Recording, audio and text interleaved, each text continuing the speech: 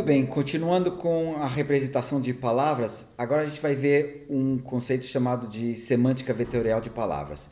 Nós já vimos que palavras podiam ser representadas com um vetor one hot de tamanho do vocabulário e que só um bit tinha a informação, todo o resto era zero. Depois nós fomos para outros tipos de representação em que a gente representava a, a sentença inteira, mas a gente perdia a informação da, da ordem das palavras, usando é, saco de palavras, enigramas, etc. Em que aí cada termo, cada palavra, o enigrama, etc., podia ser representado ou por uma contagem, um número 0 ou 1, binário, contagem 1, 2, 3, 4, ou com algum outro valor que mostrasse a relevância dele num conjunto de documentos, como foi o caso do TF-DF. Tá? Agora nós vamos ver um outro, uma outra ideia. Então, primeiro eu quero explicar o que é semântica e o que quer dizer semântica vetorial. Tá? Então, vamos falar sobre semântica vetorial de palavras. Tá?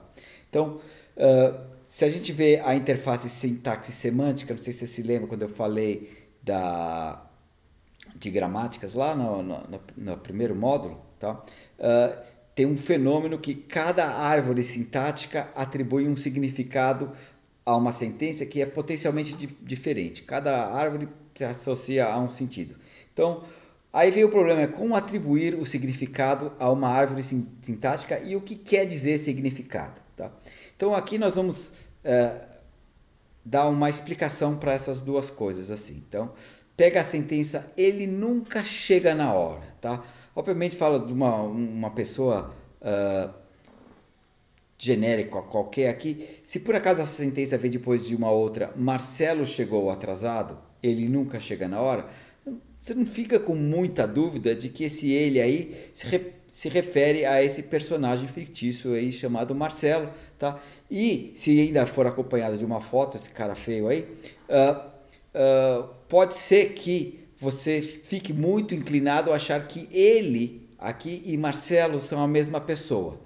Nesse caso, uma semântica vetorial representaria a palavra Marcelo e a palavra ele com dois vetores próximos uns do outro, em que o ângulo entre eles seja um ângulo pequeno. Então, vou dar uma explicação do que isso significa. Tá? Então, uh, uh, quando a gente tem uma semântica formal, tá? a gente tem uma representação matemática do, de um significado.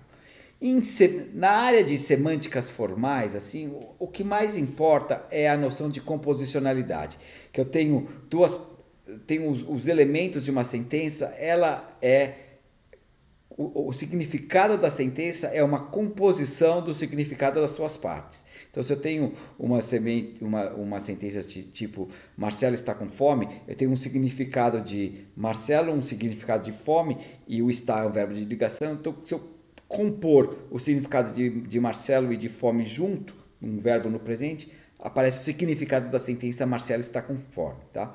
E para foram várias tentativas de fazer isso com gramáticas categóricas, baseada em uma série de outros formalismos complicados, como lógicas categóricas e cálculos lambda, cálculo lambda, eh, talvez eu já ouvido falar, e criou-se uma ponte entre semânticas formais. Acontece que esse tipo de enfoque, em geral, ele é muito complexo em termos computacional. Demora-se muito tempo para computar um significado para as coisas e não é muito adequado. Tá? Uh, a, a gente vai enveredar para um caminho diferente, que são as semânticas contextuais. Então, as expressões com significados semelhantes ocorrem em contextos semelhantes. Tá? Então, o contexto é a semântica o fato que as palavras são parecidas, como gato e gatinho, elas aparecem em, em, em contextos muito parecidos, apesar de uma ter um significado um pouquinho diferente da outra. E uh, então a semântica é o conjunto de contextos em que uma palavra pode aparecer. Então, uh, e a ideia é a seguinte: a gente representa um contexto por um por uma inserção, um embedding num espaço vetorial de n dimensões. E n aqui, uh, se a gente não tiver muito espaço em memória, é 50, pode ser 100 ou até 1024. Um número qualquer arbitrário e a gente representa o significado de uma palavra ou de uma expressão por um ponto nesse espaço n-dimensional. Quanto mais dimensões, mais nuances eu sou capaz de capturar a partir é, a, a, respeito das, das palavras, das expressões, tá? Então, a ideia desse tipo de semântica contextual é que pontos próximos, palavras que têm representação próxima, ocorrem próximo nesse espaço n-dimensional. Tá? Isso explora propriedades do espaço vetorial no processamento e é muito mais rápido fazer um processamento de vetores do que um processamento daqueles semânticos que eu mencionei anteriormente.